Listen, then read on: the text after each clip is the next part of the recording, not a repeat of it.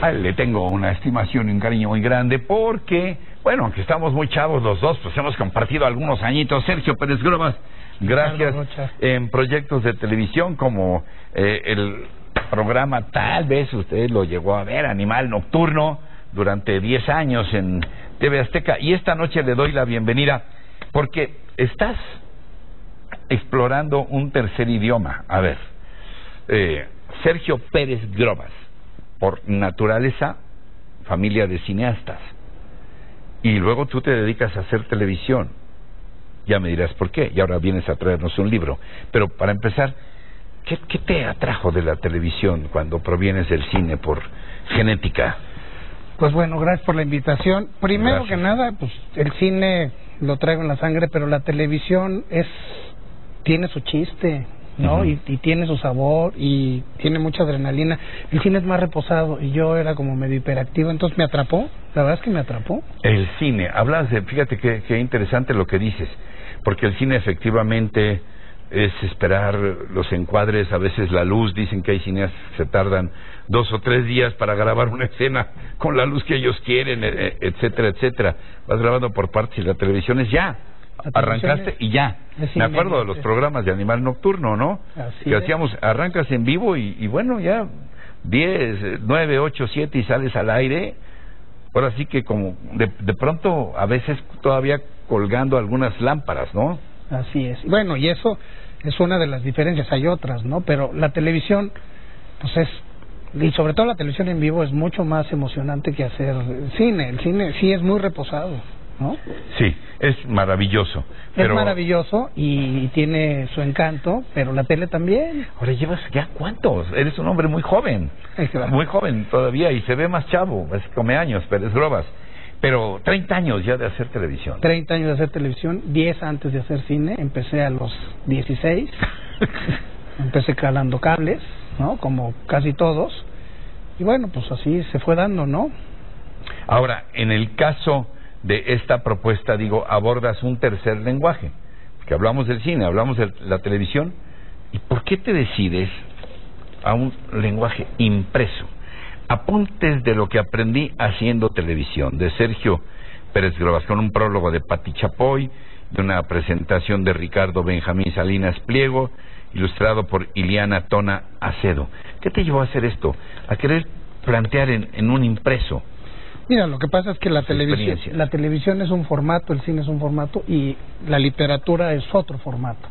Y yo soy un lector consumado y siempre tuve la intención de hacer un libro, pero no sabía cómo porque es muy complicado, ¿no?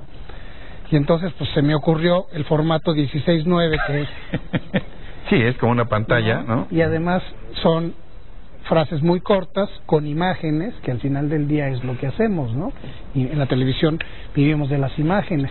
¿Cuánto tiempo te llevó hacerlo? Me llevó más o menos como en pensarlo un par de años y en realizarlo este un año. Es mucho más complejo hacer un libro sintético. Es más complejo hacer un libro sintético que escribir muchas páginas. Sí, porque yo siempre lo he dicho, la síntesis, las, los grandes pensadores de la historia siempre tienen una frase que sintetiza su pensamiento. Pero ponerlo en un libro, porque, híjole, no vaya a ser que te equivocaste o que tiene que ser muy muy concreto y muy este con mucha fuerza, ¿no? Y entonces bueno, yo creo que lo logramos. Hay una frase aquí tuya, ¿no? Muchas gracias. que recuerdo que nos las decías muchas veces en la página 23, me parece. A ver, Oye, ¿qué, qué tontería dije? No, una que en realidad tiene razón. A ver si... ¿Llevo 23? No, página 61 es... 61. Un buen reportaje no tiene límite de tiempo. Puede durar uno, dos, tres. Sí, lo que, lo que yo siempre he dicho, ¿no? Este que hay entrevistas o reportajes que al, al minuto ya ya te hartaron. sí. Y a veces hay otros que duran 15 minutos, 20 minutos, media hora de entrevista y uno dice quiero más, quiero más, porque está buenísimo. O sea, que el tiempo es muy relativo, ¿no? Es lo que siempre quería yo decir, ¿te acuerdas cuando hablábamos? ¿Y cuánto tiempo la gente me va a dar a mí? ¿Y cuánto tiempo? Pues no sabemos, usted, vamos a ver si funciona bien y si no, no.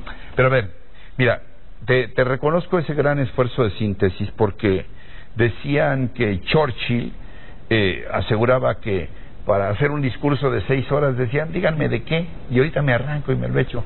Ahora quieren un discurso de diez minutos, denme una semana, y quieren un, un mensaje de un minuto, pues denme un mes para pensarlo, ¿no? Siempre el esfuerzo de síntesis es muy grande. ¿Cómo hiciste la selección de lo que tú querías expresar? Pues mira, afortunadamente con personas como tú, que me fue guiando por, por la vida de la televisión, pues fui retomando las frases, las fui anotando, porque hay unas que se me olvidaban, y luego cuando las tenía todas armadas, bueno, no las tenía armadas, las tenía todas, dije, ¿por qué no hacer el libro, no? O sea, es un buen formato, es diferente, es atractivo, este, no tiene grandes complicaciones, no es un teologado ah, un estudio ahí profundísimo. No, no, no intentaba hacer eso, porque al final del, del, día la televisión es entretenimiento, ¿no?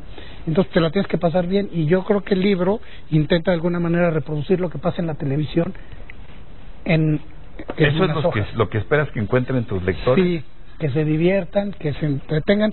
Si aprenden algo, pues qué bueno, pero no es la intención, ¿no?